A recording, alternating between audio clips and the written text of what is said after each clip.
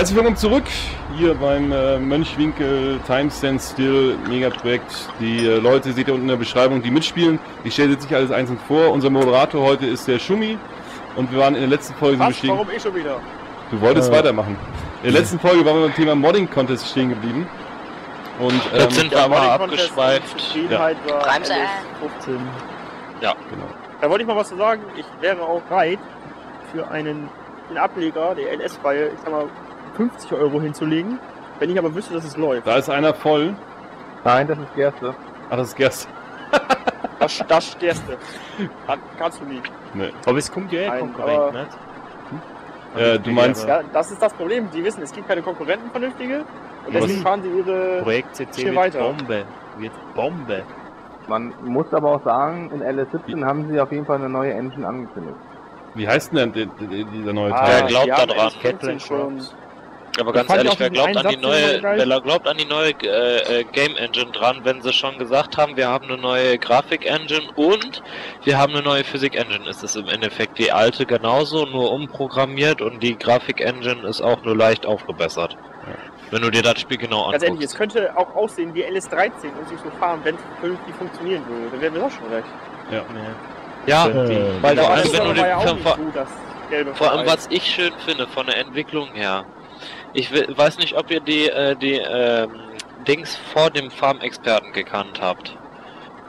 Und Ja, bevor äh, jetzt hier dieser, dieses Farm-Ding Agrarsimulator. 2016 da rausgekommen ist. Ja, Oder Agrarsimulator? Was sich da Ja, verändert hat. Guck dir das mal an, wie sich das verändert hat. Gra äh, grafisch war der Agrarsimulator ja schon tausendmal besser als der LS. Nur die Graf nur die Game Engine war halt Rotze.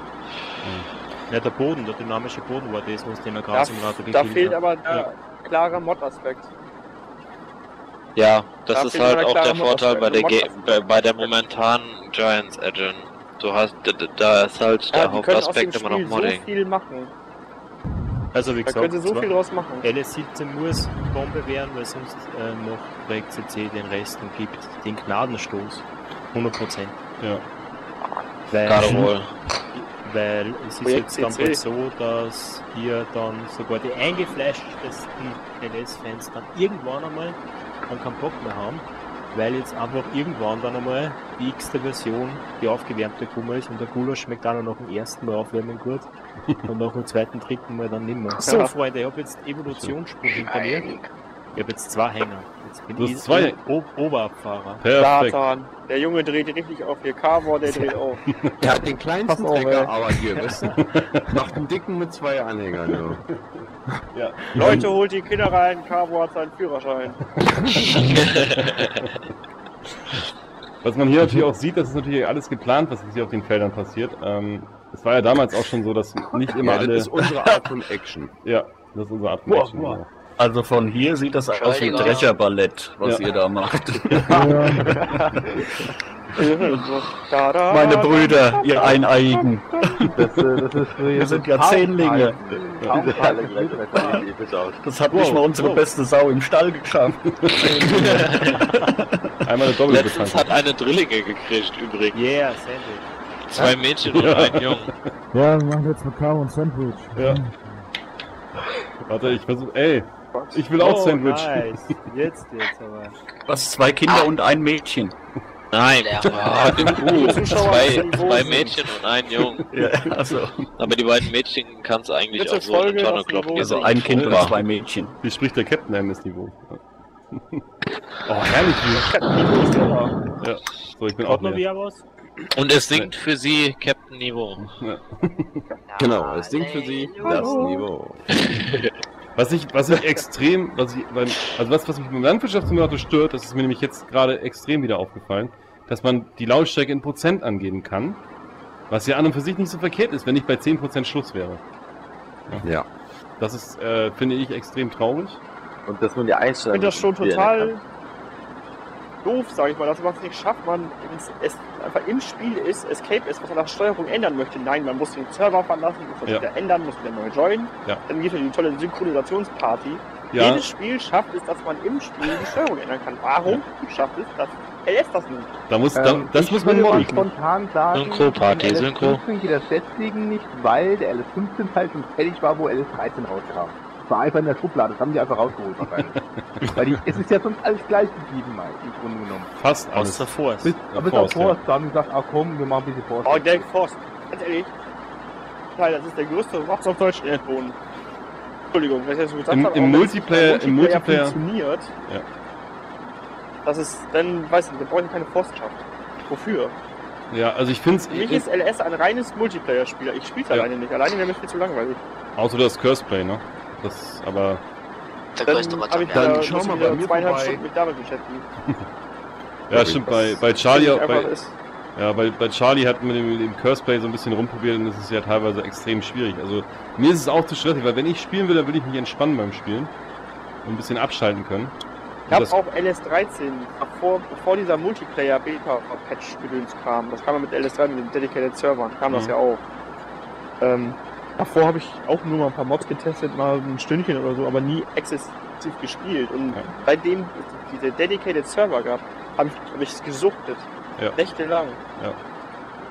Ja, aber es macht, es macht ja auch Wenn, Laune. dann, wenn man dann noch von, von äh, hier Astragon die Aussage hört, ja, ich spiele ja nur 5% oder so unser äh, User äh, Multiplayer. Hallo? Das überlegt habe, ja. dass ich über, über funktioniert? 900 Stunden allein im Multiplayer bisher verbracht habe. Ja, also, ähm, weiß ich nicht, wenn ich so eine Aussage höre, denken die, die gehen so ein bisschen daneben vorbei. Ja. Und dann ist natürlich auch die Frage, warum? Hm? Ja, was wolltest du sagen? Aber Wahnsinn, wie, schle äh, wie schlecht, dass die ihr eigenes Produkt kennen. Ja. Traurig eigentlich. Ja. Ihre Aber das- Na, eigene- Flo, siehst du, wie das Geld immer runtergeht? Nee. Ich hab Nee? Toggle No Hard Mode. Ach so.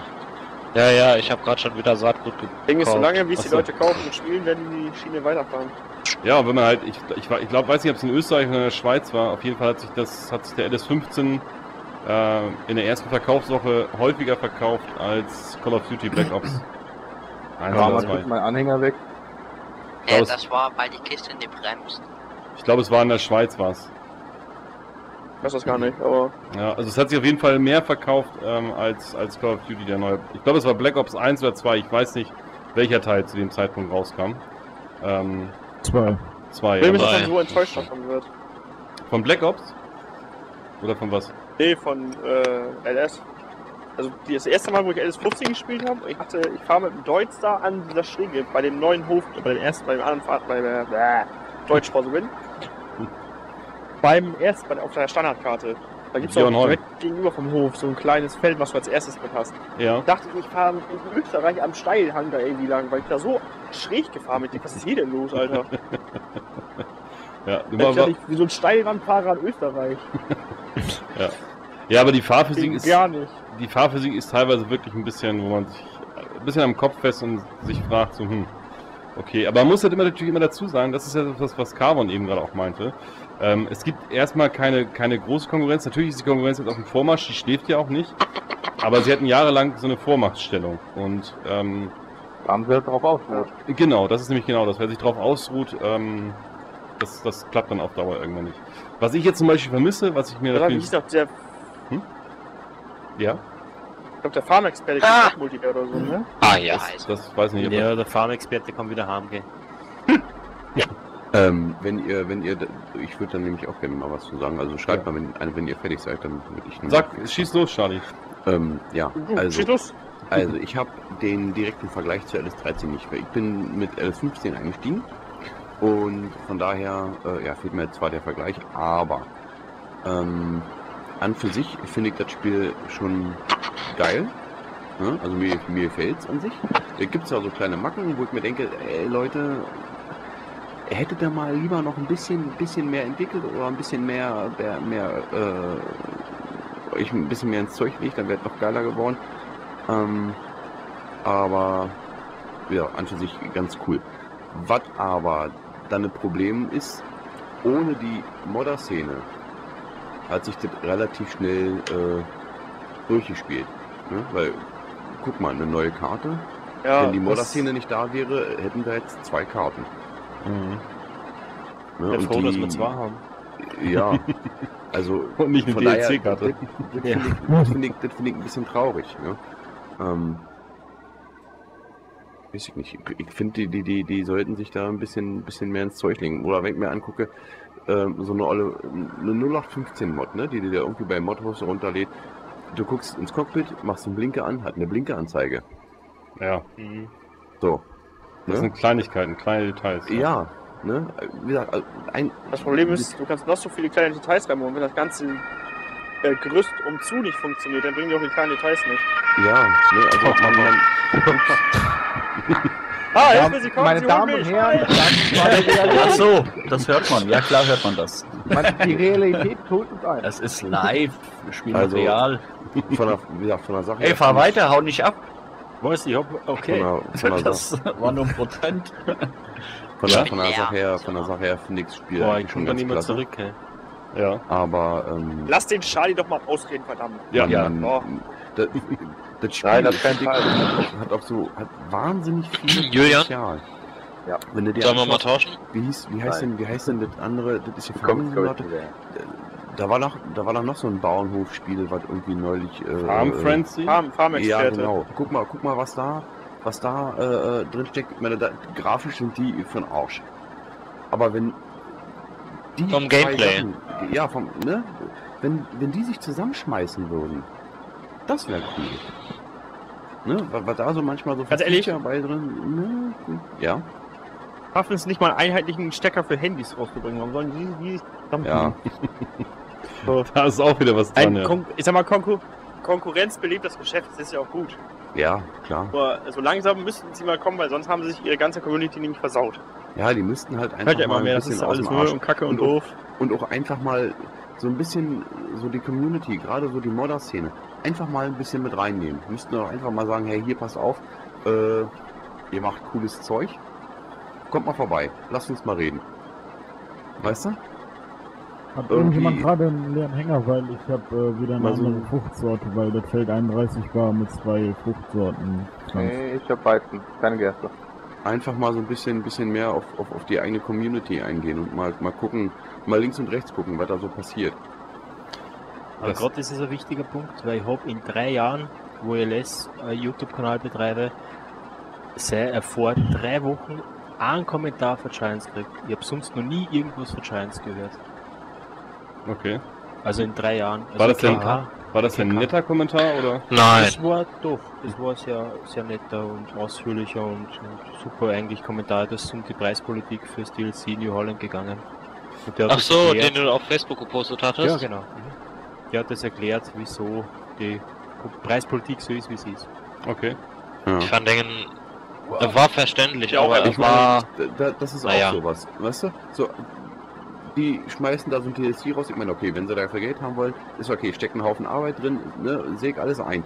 Ähm, was mir dann aber sauer aufsteht, wie gesagt, ich hole mir einen, Mod, der nichts kostet. Nehmen wir mal als Vergleich den Roper, Komm, komm bitte her. Hier, ich ne, den Roper. Rü Rübenroder, ne? mhm. äh, guck dir das Ding mal an. Das Ding ist von vorne bis hinten einfach nur geil. Einfach nur, und der kostet nichts. Naja, der kostet einen Klick. Ah, Darum, was der äh, äh, Belerian Geld dann, glaube ich, kriegt. Ist Weißt aber im Vergleich Und- und- weniger als das DLC. Und da muss ich, der, da, da, das, das ist Mod, da würde ich mit einem Lächeln, mit einem Lächeln würde ich da Geld für ausgeben. Aber was sie machen könnten, sie könnten einen Hoster, einen- so einen Mod-Hoster eben machen und wo sie sie eben über Uploaded Kohle verdienen. Dass, dass beide was davon haben. Das weiß ich nicht, 30% kriegen von dem Uploaded und der Rest kriegt der Modder. Das wäre ja eine Kooperation, das wäre ja Wahnsinn. Ja, natürlich. Das wäre ja, da Sag hätten mal, ja ich habe ja an sich, Ja. ich habe ja an sich nichts gegen DLCs, aber das Hauptspiel soll wenigstens ohne DLCs funktionieren. Äh, ja, Ja, und vor allem erstmal wirklich, funktionieren. Erstmal wirklich 100 Pro funktionieren, bevor ich irgendwelche Ja. DLCs rausschmeiße. Ich meine, wir hatten das, wir hatten das gerade gestern. dieses Lenkrad oder so. Ich meine, das Lenkrad ist geil. Können sie ja gerne ja, machen. Alter, da bin ich voll Aber geil das- drauf. Natürlich Ja, ist es geil, aber, aber- es soll aber erstmal funktionieren, das, aber- bevor ich mir ja. andere Sachen Gedanken mache. Also Ja. für den Preis, also nichts für ungut zum Lenkrad, für den Preis ein Plastik, 100% Plastiklenkrad. Du kriegst, wenn du 30 Euro mehr drauf hast, Echtleder und Metall G27. Und Ja. du kannst dieses Lenkrad, dieses Lenkrad angeblich oder anscheinend, da gibt es ja keine Infos, nur für LS benutzen. Oh, das ist Also aber, Das Also, ist übel. Das übel. geil Das das, ist scheiße. wirklich ist, ich würde Und ich das frage mich, Stopp, einmal ist das bleiben. auch mit anderen Lenkrädern kompatibel? Ja, fahr, ich habe nämlich auch einen fahr. G27 hängen und glaubst du, ich kaufe mir jetzt für LS extra nochmal ein komplettes Lenkrad mit der Eben. Steuereinheit. Eben. Also Wie das verhält ist die Steuereinheit mit dem G27 kompatibel? Das wäre mal interessant zu wissen. Wie Ja. ich es gelesen habe, aber ist es für andere Spiele auch kompatibel. Natürlich wurde es aber noch nicht getestet. Ja, schon, Ja. aber jetzt bedenke mal, du bist Rennspielfanatiker und möchtest du Formel 1 Spiel mit an, an, an Lenkrad spielen, das ausgelegt ist für einen Traktor. Schon von der, von der Neigung her. Jetzt nur mal, es wäre geil, wenn das 1 zu 1 für ETS 2 funktioniert, weil da ist das einzige, wo ich mir denke, da kann es super geil sein, so wie Ja. das Lenkrad aufgebaut ist. Aber so wie das Lenkrad aufgebaut ist und die Steuereinheit nebenbei, möchtest du das für Formel 1 2015 nutzen oder für Project Cars oder sonst irgendwas? Da kaufe ich mir ja gleich ein G27 mal im Rennspiel Ja, das, Ja. das definitiv. Wir können ja, wir können in der nächsten Folge gerne nochmal weiter Ja, darüber, stimmt. darüber philosophieren, über, ähm, danke an dieser Stelle? Tom, für den kleinen. Hinweis. Ähm, gerne weiter darüber philosophieren, auch mit Lenkrädern. Ich würde mal auch gerne wissen, was die, die User dazu sagen. Schreibt mal in den jeweiligen Channel, wo ihr gerade guckt, unten einfach mal rein, ob ihr euch das Lenkrad kaufen würdet oder nicht. Ähm, und wenn was dagegen spricht, warum spricht es dagegen? Bis zur nächsten Folge, danke fürs Zuschauen. Ciao, ciao. Tschüss. Tschüss. Hallo, hallo, Tschüss. tschüss.